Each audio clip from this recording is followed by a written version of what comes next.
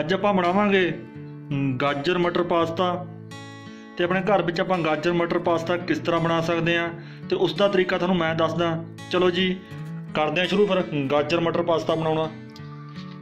ਮੈਂ 250 gram pasta ਲਿੱਤਾ। ਦੋ ਤੋਂ ਤਿੰਨ ਮੈਂ ਗਾਜਰਾਂ ਕੱਟੀਆਂ, ਲੰਬੀਆਂ ਲੰਬੀਆਂ ਜੀਆਂ ਅਦਰਕ ਮਿਕਸੀ 'ਚ ਮਿਕਸ ਕੀਤਾ ਹਰੀ ਮਿਰਚ ਮਿਕਸ ਕੀਤੀ ਹੋਈ ਹੈ, ਤੁਸੀਂ ਲਾਲ ਮਿਰਚ ਵੀ ਲੈ ਸਕਦੇ ਹੋ। ਤੇ ਹਰੇ ਮਟਰ, ਨੂਣ ਤੇ ਪਾਸਤਾ ਸੌਸ। ਤੁਸੀਂ ਟਮਾਟਰਾਂ ਦੀ ਸੌਸ ਬਣਾ ਸਕਦੇ ਹੋ। ਮੈਂ ਆਪਣੀ ਪਿਛਲੀ ਵੀਡੀਓ 'ਚ ਕਿਸ ਤਰ੍ਹਾਂ ਦੱਸਿਆ, ਤੁਸੀਂ ਘਰ ਵਿੱਚ ਆਹ ਪਾਸਤਾ ਸੌਸ ਕਿਸ ਤਰ੍ਹਾਂ ਬਣਾ ਸਕਦੇ ਹੋ? ਤੁਸੀਂ ਮੇਰੀ ਪਿਛਲੀ ਵੀਡੀਓ 'ਚ ਦੇਖ ਸਕਦੇ ਹੋ, ਪਾਸਤਾ ਘਰ ਵਿੱਚ ਆਪਾਂ ਸਿੰਪਲ ਤਰੀਕੇ ਨਾਲ ਕਿਸ ਤਰ੍ਹਾਂ ਬਣਾ ਸਕਦੇ ਹਾਂ। ਮੈਂ ਡਿਸਕ੍ਰਿਪਸ਼ਨ 'ਚ ਉਹ ਲਿੰਕ ਦਿੱਤਾ ਹੋਇਆ, ਤੁਸੀਂ ਉੱਥੋਂ ਜਾ ਕੇ ਇਹ ਲਿੰਕ ਲੈ ਸਕਦੇ ਹੋ ਕਿ ਈਜ਼ੀ ਤਰੀਕੇ ਨਾਲ ਪਾਸਤਾ ਤੁਸੀਂ ਕਿਸ ਤਰ੍ਹਾਂ ਬਣਾ ਸਕਦੇ ਹੋ। ਮਟਰ ਤੇ ਗਾਜਰ ਪਾਸਤਾ। ਚਲੋ ਜੀ, ਕਰਦੇ ਹਾਂ ਸ਼ੁਰੂ ਫਿਰ, ਘਰ ਵਿੱਚ ਪਾਸਤਾ ਬਣਾਉਣਾ। ਤੁਸੀਂ ਇੱਕ ਪਤੀਲੇ ਵਿੱਚ 250 ਗ੍ਰਾਮ ਪਾਸਤੇ ਵਾਸਤੇ 1 ਲੀਟਰ ਪਾਣੀ ਪਾਉਣਾ। ਠੀਕ ਹੈ ਉਹਦੇ ਵਿੱਚ ਇੱਕ ਚਮਚਾ ਵੈਜੀਟੇਬਲ ਆਇਲ ਰਿਫਾਈਨਡ ਆਇਲ ਪਾ ਦੇਣਾ। ਜੋ ਤੁਹਾਡਾ ਦੇਸੀ ਕਿ ਤੁਸੀਂ ਉਹ ਵੀ ਯੂਜ਼ ਕਰ ਸਕਦੇ ਆ। ਇੱਕ ਚਮਚਾ ਨੂਨ ਦਾ ਪਾ ਦੇਣਾ ਤੁਸੀਂ।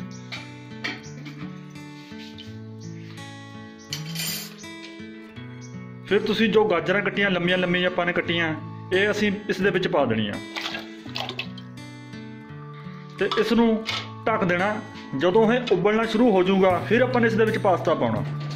ਪਹਿਲਾਂ ਨਹੀਂ ਪਾਸਤਾ ਪਾਉਣਾ, ਜਦ ਇਹ ਆਪਣਾ ਪਾਣੀ ਉਬਲਣਾ ਸ਼ੁਰੂ ਹੋ ਜਾਊਗਾ, ਫਿਰ ਆਪਾਂ ਨੇ ਇਸ ਦੇ ਵਿੱਚ ਪਾਸਤਾ ਪਾਉਣਾ। ਲਓ ਜੀ, ਸਾਡਾ ਉਬਲਣਾ ਸ਼ੁਰੂ ਹੋ ਗਿਆ। 2 ਜਾਂ 2-3 ਮਿੰਟ ਤੱਕ ਆਪਣਾ ਉਬਲ, ਉਬਲਣਾ ਸ਼ੁਰੂ ਹੋ ਜਾਂਦਾ ਇਹ। ਫਿਰ ਆਪਾਂ ਨੇ ਇਸ ਦੇ ਵਿੱਚ ਪਾਸਤਾ ਪਾ ਦੇਣਾ। ਪਾਸਤਾ ਪਾਉਣ ਤੋਂ ਬਾਅਦ ਥੋੜਾ ਜਿਹਾ ਇਸ ਨੂੰ ਹਿਲਾਉਣਾ ਵੀ ਇੱਕ ਵਾਰ। ਇੱਕ ਵਾਰ ਥੋੜੇ ਉੱਪਰ ਥੱਲੇ ਕਰ ਦੇਣਾ। ਬਾ ਪੂਰੇ 8 ਮਿੰਟ ਚ ਆਪਣਾ ਪਾਸਤਾ ਇਹ ਰੈਡੀ ਹੋ ਜਾਣਾ। ਫਿਰ ਵੀ ਤੁਸੀਂ ਥੋੜੇ ਥੋੜੇ ਟਾਈਮ ਬਾਅਦ 2 2 3 3 ਮਿੰਟ ਬਾਅਦ ਚੈੱਕ ਕਰਦੇ ਰਹਿਣਾ ਥੋੜਾ ਜਿਹਾ ਹਿਲਾਉਂਦੇ ਵੀ ਰਹਿਣਾ। ਬਸ ਫਿਰ ਤੁਸੀਂ ਢੱਕਣ ਨਾਲ ਇਹਨੂੰ ਢੱਕ ਦੇਣਾ ਥੋੜਾ ਜਿਹਾ ਥੋੜਾ ਜਿਹਾ ਹਲਕਾ ਜਿਹਾ ਮੂੰਹ ਨੰਗਾ ਰੱਖਣਾ। ਤਾਂ ਜੋ ਕਈ ਵਾਰ ਇਹ ਉੱਬਲ ਵੀ ਜਾਂਦਾ, ਪਾਣੀ ਜੇ ਬਾਹਰ ਨਾ ਨਿਕਲੇ। ਗੌਰ ਰੱਖਣੀ ਹੈ, ਕਈ ਵਾਰ ਪਾਣੀ 'ਚ ਉੱਬਲਣਾ ਵੀ ਸ਼ੁਰੂ ਹੋ ਜਾਂਦਾ। ਇਸ ਦੇ ਨਾਲ ਹੀ ਤੁਸੀਂ ਇੱਕ ਫਰਾਈ ਪੈਨ ਦੇ ਵਿੱਚ ਇੱਕ ਚਮਚਾ ਤੇਲ ਦਾ ਪਾ ਲੈਣਾ। ਬਸ ਉਹਨੂੰ ਹਲਕਾ ਜਿਹਾ ਗਰਮ ਕਰਨਾ। ਫਿਰ ਤੁਸੀਂ ਪਾਸਤਾ ਸੌਸ ਪਾ ਦੇਣੀ ਇਸ ਦੇ ਵਿੱਚ।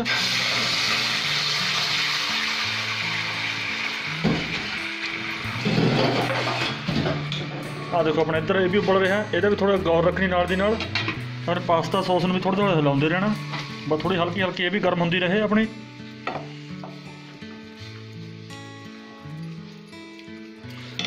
ਆਪਾਂ ਇਸ ਦੇ ਵਿੱਚ, ਜੋ ਆਪਣੇ ਹਰੇ ਮਟਰ ਇਸ ਦੇ ਵਿੱਚ ਪਾ ਦੇਣੇ ਆ। ਅੱਧੇ ਤੋਂ ਥੋੜਾ ਜ਼ਿਆਦਾ ਆਪਾਂ ਨੇ ਇਸ ਦੇ ਵਿੱਚ ਅਦਰਕ ਪਾ ਦੇਣਾ, ਚਮਚਾ।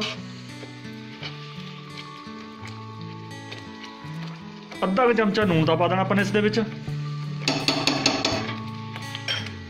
ਮੈਂ ਇਸ ਨੂੰ ਹਲਕੇ ਹਲਕੇ ਹਿਲਾਉਂਦੇ ਰਹਿਣਾ ਮਿਕਸ ਕਰਦੇ ਰਹਿਣਾ। ਮੈਂ ਇਸ ਨੂੰ ਵੀ ਤੁਸੀਂ 4 ਤੋਂ 5 ਮਿੰਟ ਪਕਾਉਣਾ ਫਿਰ ਆਪਾਂ ਇਸ ਦੇ ਵਿੱਚ ਪਾਸਤਾ ਪਾਵਾਂਗੇ।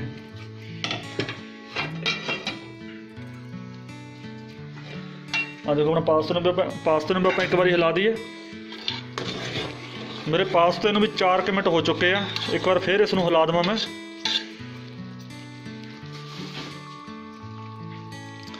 ਨਾਲ ਦੀ ਨਾਲ ਤੁਸੀਂ ਸੌਸ ਵੀ ਹਿਲਾਉਂਦੇ ਰਹਿਣਾ। ਤੁਸੀਂ ਅਲੱਗ-ਅਲੱਗ ਵੀ ਬਣਾ ਸਕਦੇ ਹੋ, ਪਰ ਜੇ ਤੁਸੀਂ ਪਹਿਲੀ ਵਾਰ ਬਣਾਉਣਾ ਤਾਂ ਮੈਂ ਤਾਂ ਚਾਹੂੰਗਾ ਕਿ ਤੁਸੀਂ ਅਲੱਗ-ਅਲੱਗ ਬਣਾਇਓ। ਉਹ ਸੌਸ ਵੀ ਲਾਉਂਦੇ ਰਹਿਣਾ ਤੇ ਆਪਣਾ ਪਾਸਤਾ ਵੀ ਇੱਧਰ ਬਣਦਾ ਰਹੂਗਾ। ਹਰੀ ਮਿਰਚ ਵੀ ਤੁਸੀਂ ਵੱਧ ਘੱਟ ਪਾ ਸਕਦੇ ਆ।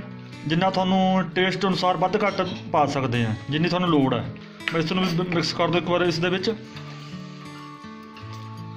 ਆਪਣੇ ਟੇਸਟ ਅਨੁਸਾਰ ਤੁਸੀਂ ਵੱਧ ਘੱਟ ਹਰੀ ਮਿਰਚ ਵਿੱਚ ਪਾ ਸਕਦੇ ਆ।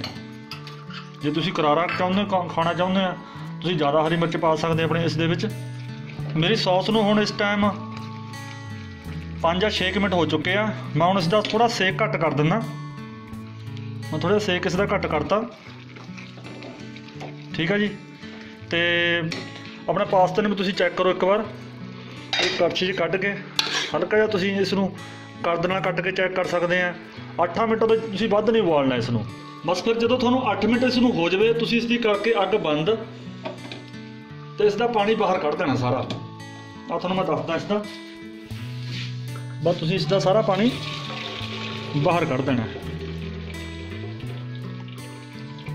ਠੀਕ ਹੈ?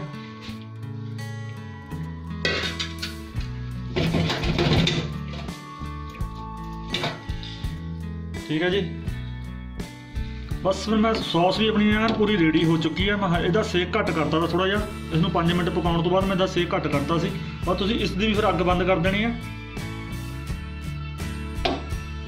ਅੱਗ ਬੰਦ ਕਰਨ ਤੋਂ ਬਾਅਦ ਫਿਰ ਤੁਸੀਂ ਇਸ ਦੇ ਵਿੱਚ, ਇਸ ਦੇ ਵਿੱਚ ਆਪਾਂ ਜੋ ਪਾਸਤਾ, ਇਸ ਦੇ ਵਿੱਚ ਪਾ ਦੇਣਾ। ਇਸ ਸੌਸ ਦੇ ਵਿੱਚ। ਬਸ ਫਿਰ ਤੁਸੀਂ ਇਸ ਨੂੰ ਵੀ ਮਿਕਸ ਕਰ ਦੇਣਾ, ਜੋ ਆਪਣੀ ਸੌਸ ਉਸ ਦੇ ਨਾਲ ਚੰਗੀ ਤਰ੍ਹਾਂ ਨਾ ਦੇਖੋ, ਇਸ ਤਰ੍ਹਾਂ ਆਪਾਂ ਨੂੰ ਮਿਕਸ ਕਰ ਦੇਣਾ, ਚੰਗੀ ਤਰ੍ਹਾਂ। ਤਾਂ ਜੋ ਆਪਣੀ ਸੌਸ ਔਰ ਪਾਸਤਾ ਐਨ ਚੰਗੀ ਤਰ੍ਹਾਂ ਰਲ ਸਕੇ। ਤਿਆਰ ਹੁਣ, ਤੁਸੀਂ ਇਸ ਦੇ ਉੱਪਰ ਚੀਜ਼ ਪਾ ਕੇ ਖਾ ਸਕਦੇ ਆ, ਪਨੀਰ ਪਾ ਕੇ ਖਾ ਸਕਦੇ ਆ, ਜਾਂ ਆਪਣੇ ਘਰ ਚ ਮਾਇਓਨੈਸ ਆ, ਤੁਸੀਂ ਉਸ ਨਾਲ ਵੀ ਖਾ ਸਕਦੇ ਆ। ਤੁਸੀਂ ਦੇਖ ਸਕਦੇ ਹੋ ਪਾਸਤਾ ਆਪਣਾ ਕਿਸ ਤਰ੍ਹਾਂ ਦਾ ਬਣਿਆ। ਤੁਸੀਂ ਵੀ ਜਰੂਰ ਟਰਾਈ ਕਰਿਓ ਆਪਣੇ ਘਰ ਦੇ ਵਿੱਚ ਇਸ ਤਰ੍ਹਾਂ ਦਾ ਪਾਸਤਾ ਬਣਾਉਣ ਦੀ। ਤੇ ਥੋੜੇ ਬਹੁਤ ਜ਼ਿਆਦਾ ਮੈਨੂੰ ਮੈਸੇਜ ਆ ਰਹੇ ਨੇ ਵੀ ਸਾਨੂੰ ਆਹ ਚੀਜ਼ਾਂ ਬਣਾ ਕੇ ਦਿਓ। ਮੈਂ ਹੌਲੀ ਹੌਲੀ ਸਭ ਦੀਆਂ ਫਰਮਾਇਸ਼ਾਂ ਪੂਰੀਆਂ ਕਰੂੰਗਾ ਆਪਣੇ ਵੱਲ ਤੋਂ। ਇਹ ਮਹਿਕ ਗਿੱਲ ਦਾ ਕੈਨੇਡਾ ਤੋਂ ਮੈਸੇਜ ਆਇਆ ਸੀ ਵੀ ਸਾਡੀ ਫਰਮਾਇਸ਼ ਵੀਰੇ ਜਰੂਰ ਪੂਰੀ ਕਰੀ ਤੇ ਉਸ ਦੀ ਫਰਮਾਇਸ਼ ਪਰ ਮੈਂ ਅੱਜ ਇਹ ਬਣਾਇਆ ਸੀ ਵੈਜੀਟੇਬਲ ਪਾਸਤਾ ਤੁਸੀਂ ਵੀ ਜਰੂਰ ਟਰਾਈ ਕਰੋ ਆਪਣੇ ਘਰ ਦੇ ਵਿੱਚ ਪਾਸਤਾ ਬਣਾਉਣ ਤੇ ਮੇਰਾ ਚੈਨਲ ਸਬਸਕ੍ਰਾਈਬ ਕਰਨਾ ਨਾ ਭੁੱਲਿਓ। ਵੱਧ ਤੋਂ ਵੱਧ ਮੇਰੇ ਚੈਨਲ ਨੂੰ ਸ਼ੇਅਰ ਕਰੋ ਆਪਣੇ ਫੇਸਬੁੱਕ ਪੇਜ ਨਾਲ। ਬਹੁਤ ਬਹੁਤ ਧੰਨਵਾਦ ਜੀ ਤੁਹਾਡਾ ਮੇਰਾ ਵੀਡੀਓ ਦੇਖਣ ਵਾਸਤੇ। ਮਿਲਦੇ ਹਾਂ ਕਿਸੇ ਅਗਲੀ ਵੀਡੀਓ ਦੇ ਵਿੱਚ।